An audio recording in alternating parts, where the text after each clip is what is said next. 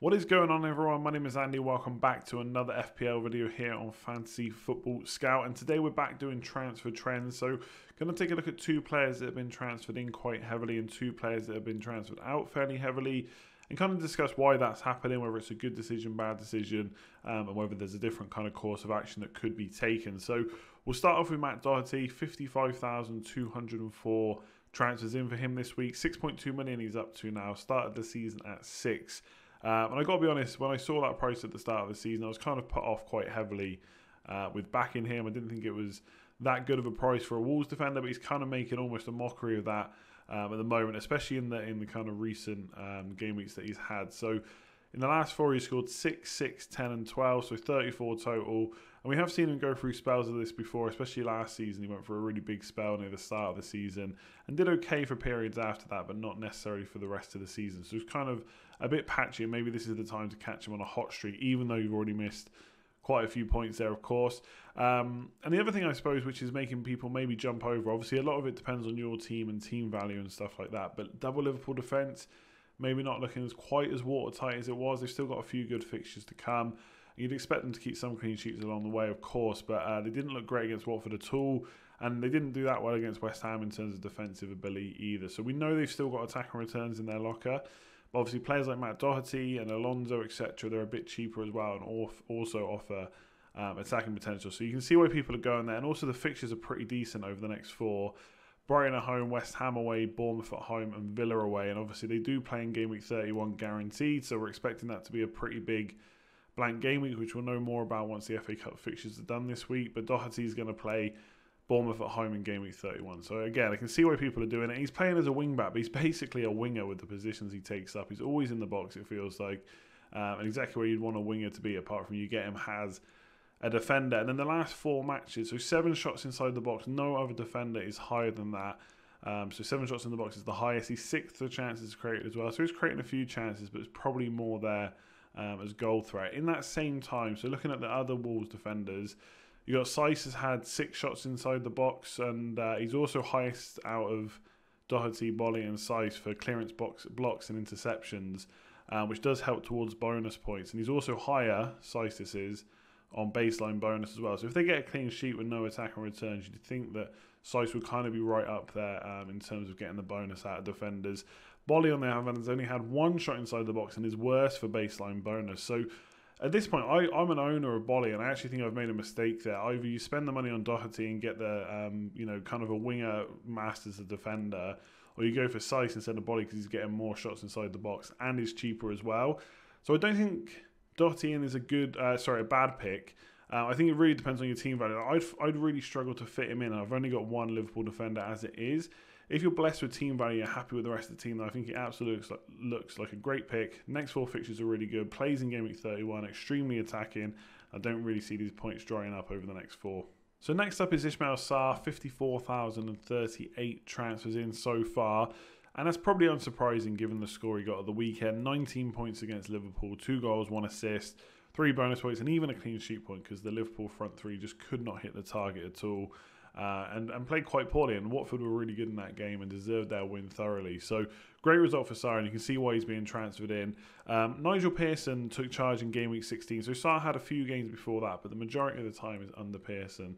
So I had a look from game week 16 to 23, which is when Sarr got um, injured originally. So you can do kind of game week range within the Fantasy Football Scout members area if you want to kind of sign up and take a look at yourself.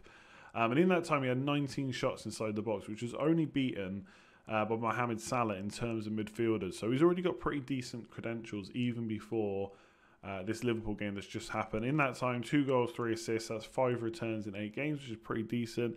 I don't think it's that much of a coincidence that Watford kind of struggled a bit while he wasn't in the team.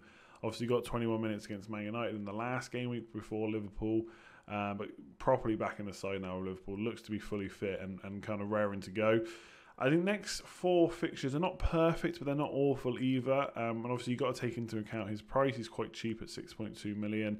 So it's Palace away, Leicester at home, Burnley away, and Southampton at home. And like Matt Doherty, he's also going to play in game week 31. uh, which is another reason a lot of people are looking to bring him in. Um, there's a few kind of other things I would say that are kind of going for him and Watford at the moment. So obviously Watford fighting for their lives, definitely in a relegation battle. Um, and it is hard to put an exact figure on how much that helps a team. Uh, but at this time of the season, we probably do look more for reasons why a player is going to look to perform than not. And obviously, no one's going to go out on the pitch and just and just not bother for the sake of it.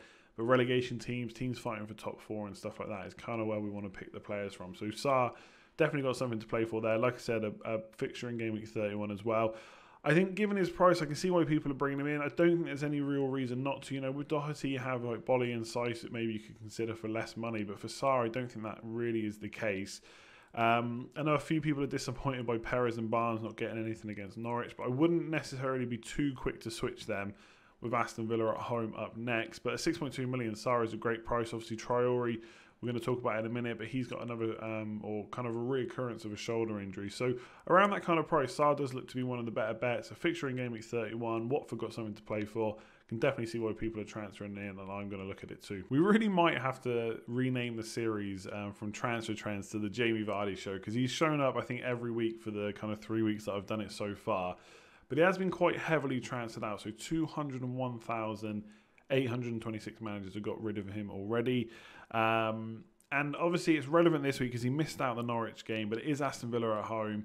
But that Norwich game and missing that is obviously fueling this. Maybe people going to the likes of Jota, Calvert Lewin, maybe even looking at Aubameyang for this week against West Ham.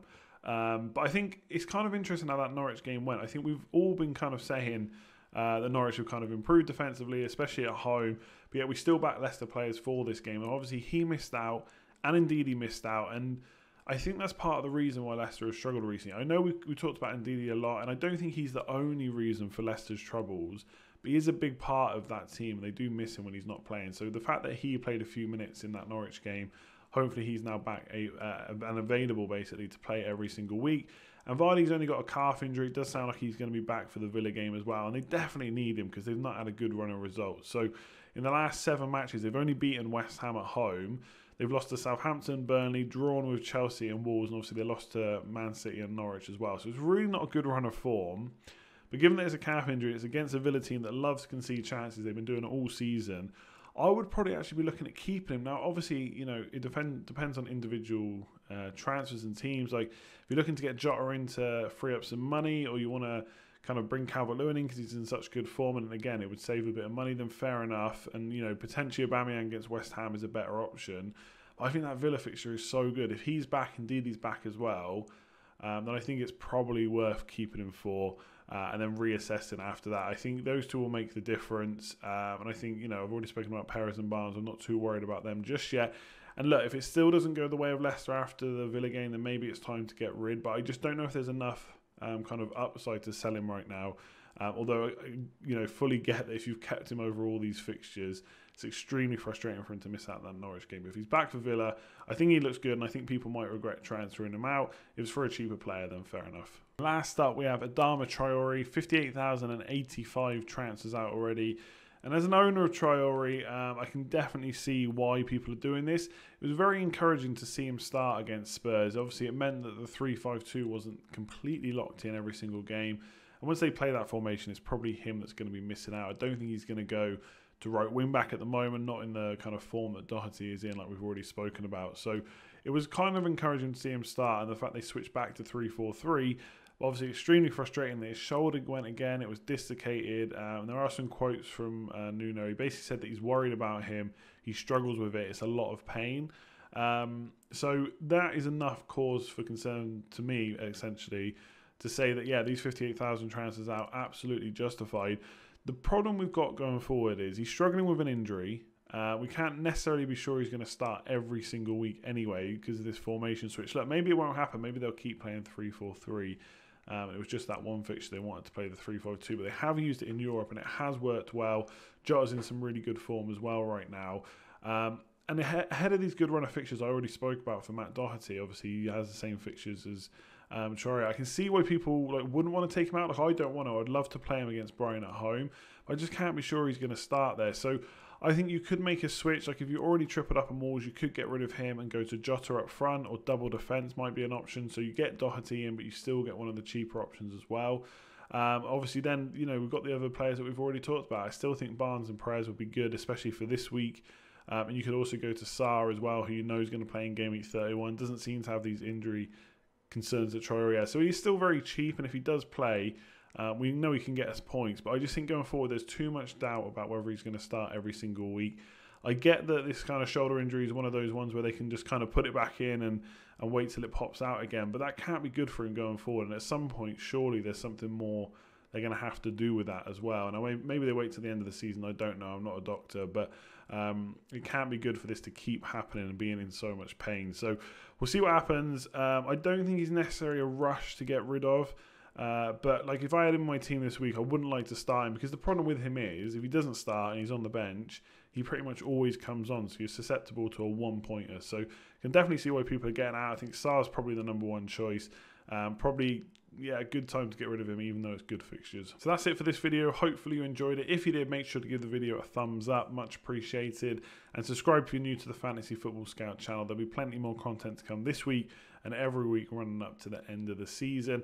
And leave me a comment below. Let me know what you think of these transfers in and out.